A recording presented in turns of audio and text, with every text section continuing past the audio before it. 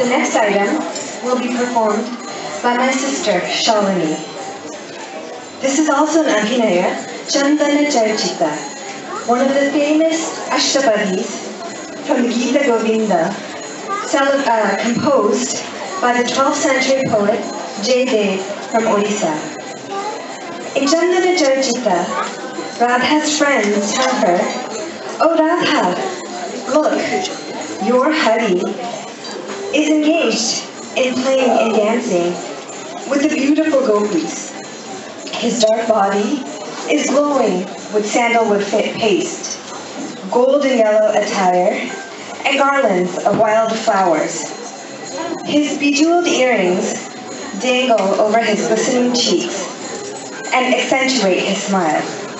Some gopis are locked in an embrace, some are spellbound with his charm, and some sing and dance to the sound of his enchanting flute.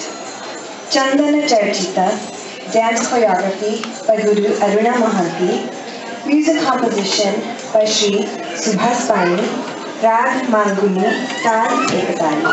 Chandana Charchita.